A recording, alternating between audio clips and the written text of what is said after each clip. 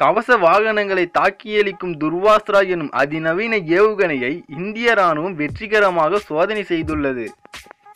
வெளிநாடுகளில் இருந்து ஆயுதங்களை இந்தியா வாங்கினாலும் உள்நாட்டிலும் பாதுகாப்பு ஆராய்ச்சி மேம்பாட்டு நிறுவனம் தொடர்ந்து ஆய்வு செய்து நவீன ஆயுதங்களை தயாரித்து வருகிறது. இந்த வகையில் டாங்கி எனும் இராணுவ கவச வாகனங்களை தாக்கியளிக்கும் மூன்றாம் தலைமுறை நாக் ஏவுகணையை தயாரித்துள்ளது. ஹெலிகாப்டரிலிருந்து தாக்கியளிக்கும் புதிய வகை ஹெலினா எனப்படும் நாக் ரக ஏவுகணையை தயாரித்துள்ளது.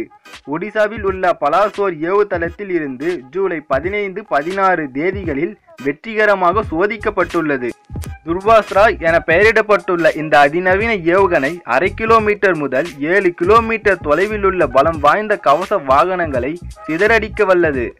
பனிபடர்ந்த இமய மலையிலும் சுட்டெரிக்கும் பாலைவன வெயிலிலும் பாரபட்சம் பார்க்காமல் எதிரிகளை மிரட்டவல்ல இந்த அதிநவீன ஹெலினா வகை துர்வாஸ்திரா ஏவுகணை இந்திய இராணுவத்துக்கு மேலும் வலு சேர்த்துள்ளது.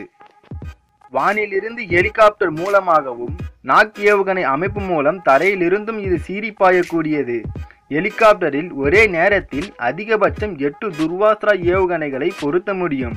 எலினா ஏவுகணை அமைப்பு ஏற்கனவே இராணுவத்தில் சேர்க்கப்பட்ட நிலையில் அதன் அங்கமான துர்வாஸ்ரா ஏவுகணை தற்போது விமானப்படையில் சேர்க்கப்பட்டுள்ளது. வினாடிக்கு இருநூத்தி நாற்பது கிலோமீட்டர் வேகத்தில் பாயக்கூடிய இந்த ஏவுகணை ஒன்று புள்ளி ஒன்பது மீட்டர் நீளமும் நாற்பத்தி ஐந்து கிலோ எடையும் கொண்டது. முக்கியமாக இதனை ஹெலிகாப்டரில் எதிரிக்கு தெரியாமல் மறைத்து எடுத்து செல்லும் வசதியும் முடக்கிவிட்ட பிறகு இலக்கை சரியாக நிர்ணயித்து தாக்கும் வசதியும் உள்ளது.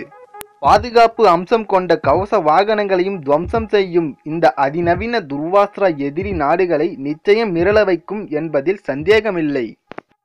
இந்த வீடியோ உங்களுக்கு பிடிச்சிருந்தா லைக் பண்ணுங்க கமெண்ட் பண்ணுங்க ஷேர் பண்ணுங்க. நாங்க போடுற வீடியோ உங்களுக்கு உடனுக்குடன் வர சப்ஸ்கிரைப் பண்ணுங்க. பக்கத்துல அப்படியே பெல் பட்டனும் அழுத்திருங்க.